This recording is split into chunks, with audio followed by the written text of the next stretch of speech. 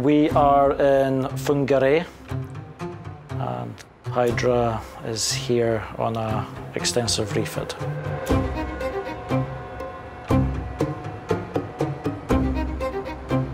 The objectives of the refit were to make it more user-friendly for science and for the crew.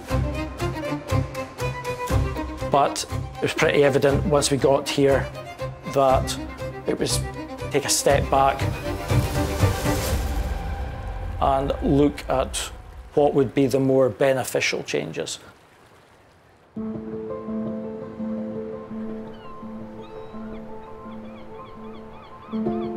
The vessel's 50 years old, so we kind of rethought spaces.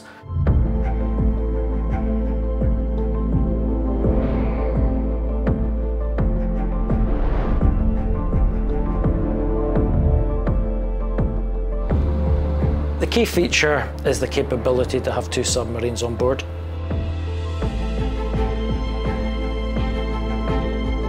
We can conduct science from zero to a thousand metres.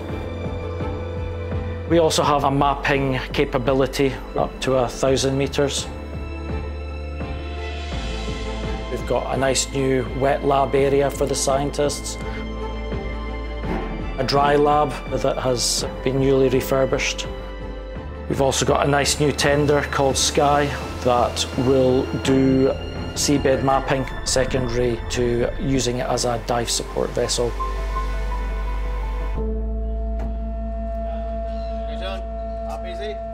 We have had a lot of challenges, but it was never a negative. Everything we've done here is a huge positive. We had delays, but now looking back on it, it's been really useful. We've made the most of that time by increasing the capability of the team. Make sure these are all tight. For Cthulhu, we started the rebuild journey two years ago. The subs, we've been to Florida, Spain. Now, finally, we'll cut the leash and let them free to go and uh, science the planet.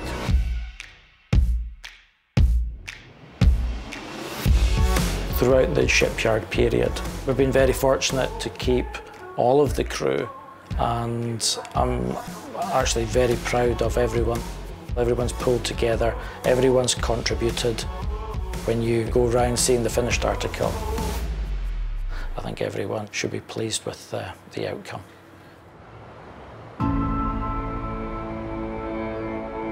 We have the latest in technology in these spaces. It's now getting all the systems up and running to say, right, okay, Hydra is now good to go. We're then going to make our way to the Solomons, and that will be our first full-blown science mission.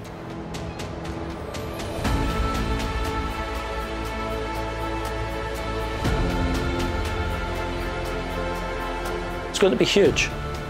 Everyone is very excited to get Hydra out there doing its purpose, which is conducting, uh, conducting science.